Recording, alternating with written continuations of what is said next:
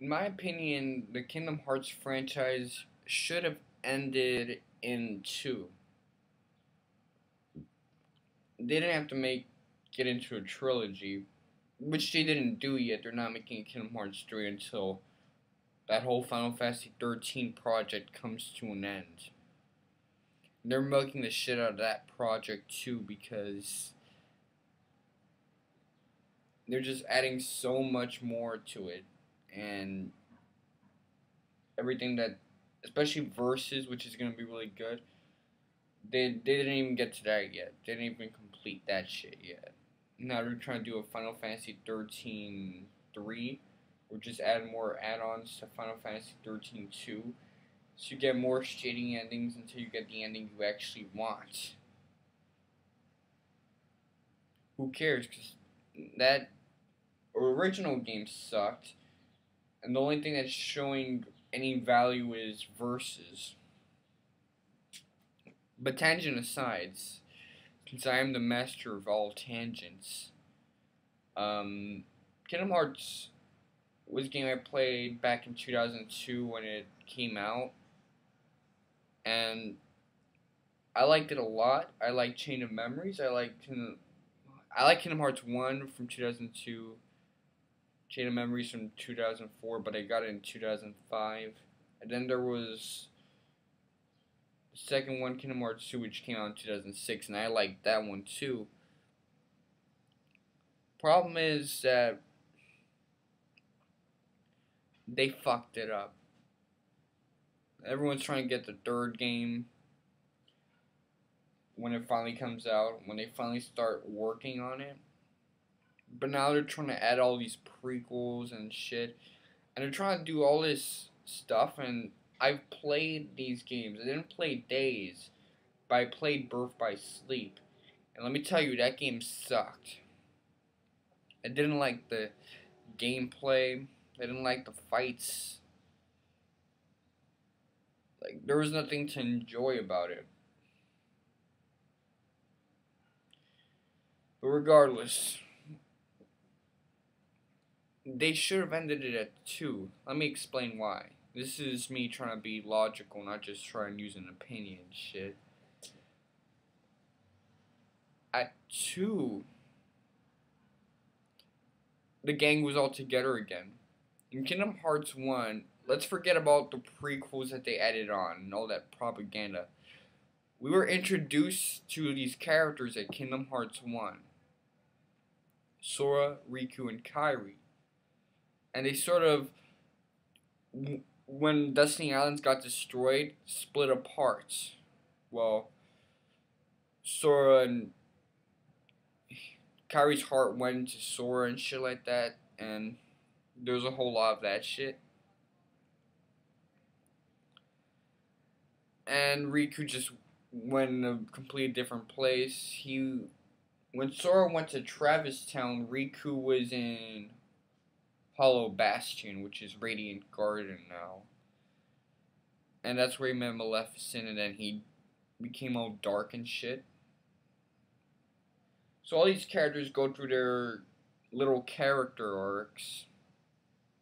And by the end of Kingdom Hearts 1, yeah, the bad guy, Ansem, is defeated. And his real name is not Ansem, but for now, let's call him Ansem. That's how we knew him back then. But everyone's all disconnected. That trio, that protagonist, deuteragonist, and tritagonist, they're still split apart.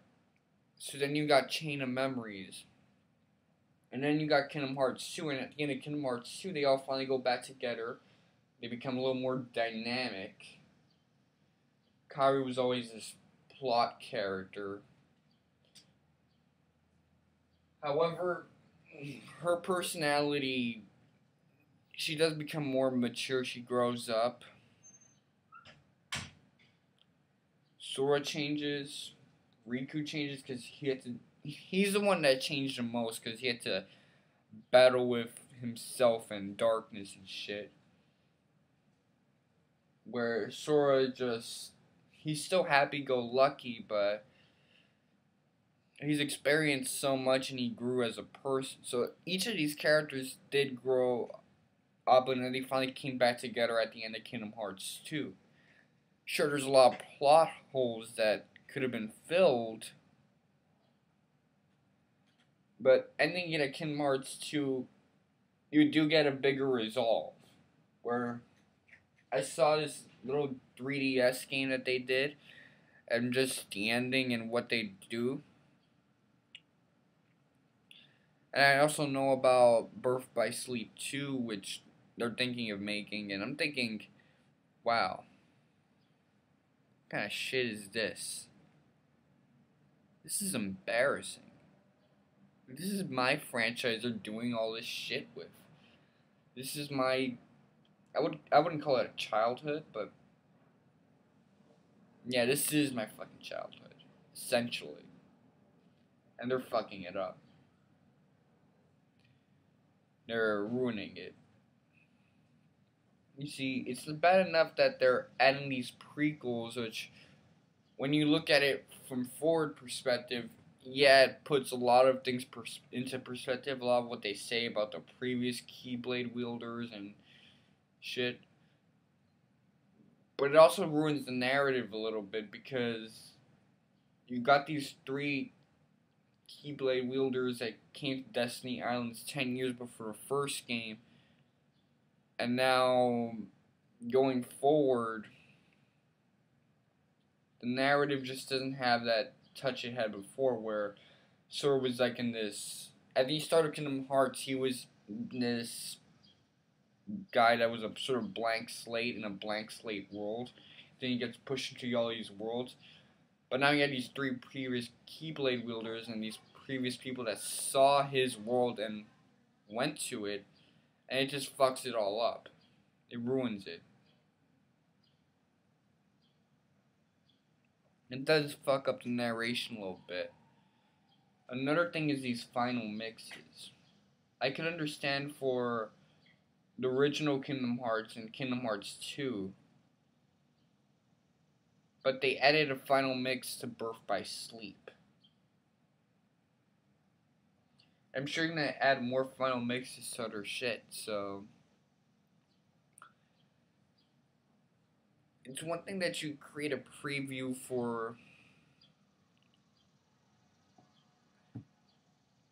a game it's one thing to do that.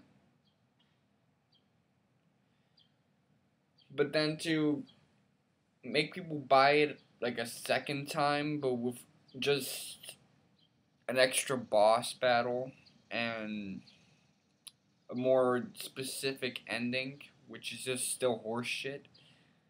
That ain't worth your money because Final, at least with Final Mix 2 and the original Final Mix, they added a lot of different shit. For Birth by Sleep, they didn't add a lot of shit. At least not a lot of shit that's worth mentioning. I mean, other than that extra boss battle and extra ending with Aqua, they didn't really do much.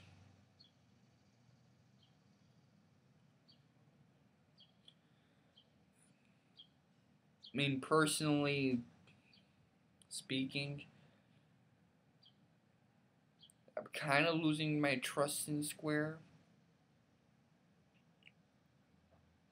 I mean, they've been doing shit that's counterintuitive. It's one thing to milk a franchise, but to castrate it of what made it work and just make it an empty shell of what it previously was, that's kind of cruel. Mm, however, maybe it's just me that sees this because a lot of my other friends are Kingdom Hearts fans and they pretty much still enjoy the franchise. They enjoy the new games that come out. Granted, these other fans of the game happen to be girls, so. Maybe it's just because Sora and Riku are cute. But I kind of doubt it. Anyway, hope you enjoyed this video. I hope this video made you think about something other than politics and wrestling and other, other shit I talk about.